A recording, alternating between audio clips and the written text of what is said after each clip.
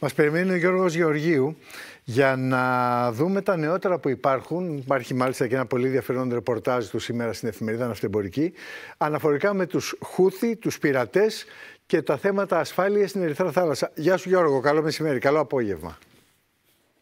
Καλό απόγευμα Τάκη, καλό απόγευμα σε όσους μας παρακολουθούν και καλή εβδομάδα. Είναι πραγματικά όπως μας είπαν και οι εταιρείες που δραστηριοποιούνται στον χώρο της θαλάσσιας ε, μια τέλεια καταιγίδα στην ευρύτερη περιοχή. Από τη μία οι Χούθη εντατικοποιούν τις επιθέσεις στην Ερυθρά Θάλασσα και τον κόλπο του Άντεν με αποκορύφωμα το τραγικό περιστατικό την προηγούμενη εβδομάδα με το φορτηγό πλοίο True Confidence κατά το οποίο τρεις ναυτικοί έχασαν τη ζωή τους.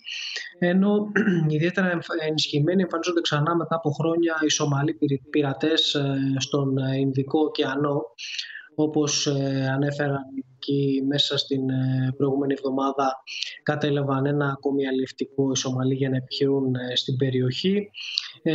Έχουν πραγματοποιήσει περίπου, έχουν πραγματοποιηθεί περίπου 14 περιστατικά πειρατείας από το τέλη Νοεμβρίου στα ανοιχτά των ακτών της Σομαλίας ενώ σε δύο από αυτά οι Σομαλοί κατέλαβαν και τα πλοία στην πρώτη τέτοια ενέργεια μετά από 7 χρονια είναι γνωστή η τακτική τους χρησιμοποιώντας αλλιευτικά στα οποία τοποθετούνται περίπου 20 με 30 άντρες. Ε, έχουν ένα βεληνικές επίθεση άνω των χιλίων ναυτικών μιλίων στην περιοχή, όπως αναφέρουν οι ειδικοί. Ε, και φυσικά η, η άγρια μπορούμε να πούμε, φύση της, ε, των επιθέσεών τους με ομοιρίες πληρωμάτων καθιστούν άμεση προτεραιότητα την άμεση κινητοποίηση για τον περιορισμό της απειλής.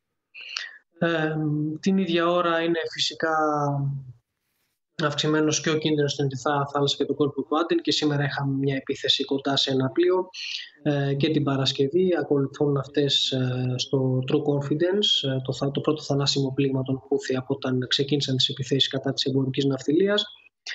Ε, οι ειδικοί που μας μίλησαν επισημαίνουν ότι είναι σίγουρα σημαντικές οι πρωτοβουλίες των εθνών και μεταξύ των οποίων φυσικά και της Ελλάδας για την αποστολή πολεμικών πλοίων στην περιοχή αλλά τονίζουν ότι η θαλάσσια ασφάλεια ξεκινά και τελειώνει στην ξηρά, αναδεικνύοντας την ανάγκη να υπάρξει παρέμβαση σε στόχους ε, των Χούθη στη στεριά, ενώ είναι φυσικά σημαντικό και είναι σημαντική πτυχή ο συντονισμός μεταξύ των δυνάμεων που έχουν αναπτύξει πολεμικά πλοία στην περιοχή.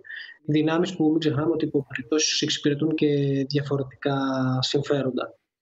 Όλα αυτά και ενώ η διελεύσεις από την Ερυθρά θάλασσα συνεχίζουν να, υποχωρουν σύμφωνα με στοιχεία που παρουσιάζουμε μία ημέρα μετά το χτύπημα στο True Confidence στις 7 Μαρτίου καταγράφηκε περαιτέρω πτώση 12% στα πλοία που διέρχονται της Ερυθράς θάλασσας ε, την ώρα που το Φεβρουάριο οι διελεύσεις από την Ερυθρά και από τη διόρυγα του Σουέζ ήταν μειωμένες ε, πάνω από 50% σε τήσια βάση. Είχαμε... Επιπλέον 12%. Ναι. Ακριβώς, ακριβώς ένα επιπλέον 12% στις διελεύσεις. Για να δούμε. Και με... Ναι. Ωραία. ναι, είναι κυρίως τα Μπαλκάνες και τα τάγκες που ναι. έχουν μειώσει τα περάσματα από την περιοχή. Ωραία Γιώργο μου, σε ευχαριστώ πάρα πολύ. Να είσαι καλά.